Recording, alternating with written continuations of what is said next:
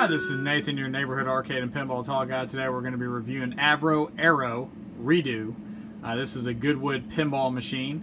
Uh, with that said, look for our review under the description of our YouTube video, as well as like and follow us on Arcade and Pinball Talk on Facebook groups, on and then also Arcade Pinball Talk on Instagram.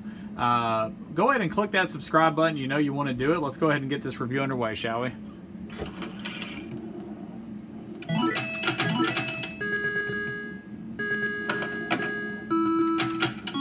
So with the graphics and stuff, I mean, this is this is a little bit of an older layout. Ball speed is moderate, not super fast, but you know, that being said, this table right here, the graphics on it tell me it's a little newer.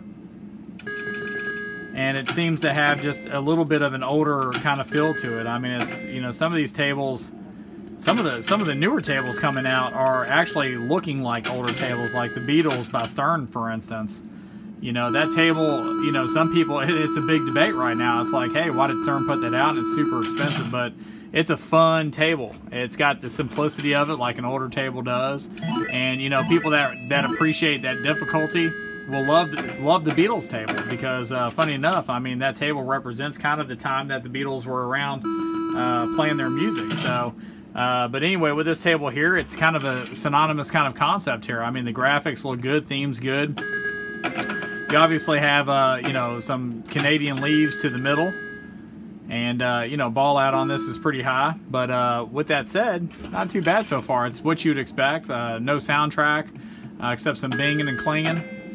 And uh, not bad as far as the look of it. Pedal gap's a little wider. But again, I put average gap on most of these because I could only call out the fact that they're a little bit wider apart than normal uh, paddle gap is.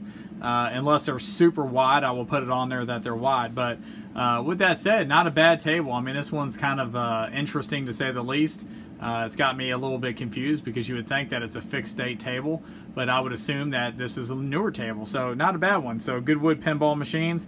Uh, you know, obviously this table here is uh, is definitely got me surprised. So anyway, decent play. Uh, please look for our review again under the description, and we appreciate you watching today. Thank you again, and we look forward to our next video.